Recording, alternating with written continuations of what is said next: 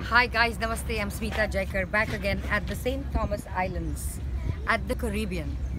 Uh, one thing I, I thought of just now was when you feel stuck, when you feel that things are not moving or not going the way you want, that's the time when the new beginning starts.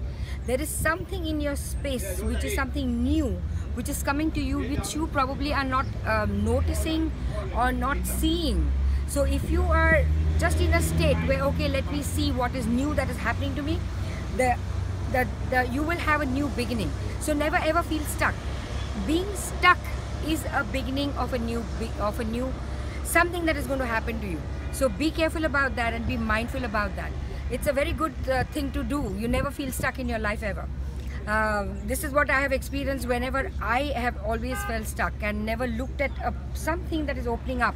I've been constantly in my mind, the same thing just keeps on and on and on and on and never opened my mind to something that is just coming in my way. Uh, I realized it a little too late. That time I, this was to happen to me. Maybe that same thing that is happening to you. Just be aware. Awareness is the way to spirituality guys. Love you.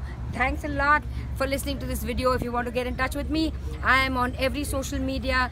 I'm on instagram facebook. I have my website. And if you like my videos do subscribe to it. Thank you very much. God bless. Namaste